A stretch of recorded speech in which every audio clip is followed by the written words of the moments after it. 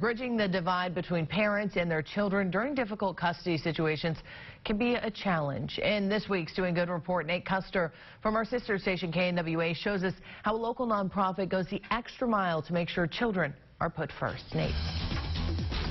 Love and relationships can be difficult, and not every romantic connection works out. But when children are involved, things can get even more complicated. However, there is a place that can help remove the worry and angst parents experience with supervised visitations.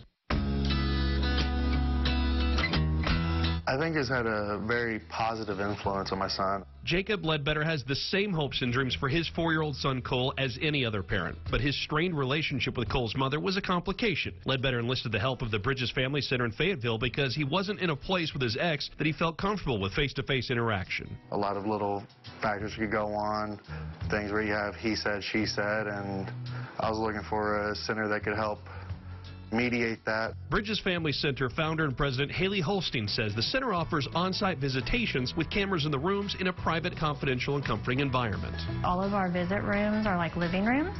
So we try to de-stimulate the visit for the children so that if there's a sensory issue, if there's anxiety, we bring it all down to be a very calming location. She told me about how they're interacting and that it was very positive.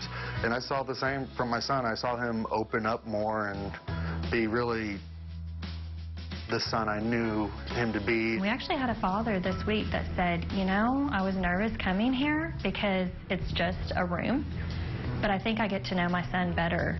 Ledbetter says his ex also felt some anxiety at first, but she warmed up to it. He's now seen changes in certain behavioral issues with his son after reestablishing the relationship with Cole's mother, thanks to the Family Center's help. That brought it all back, and I saw a lot of positive growth for my son with the visitation center with Bridges.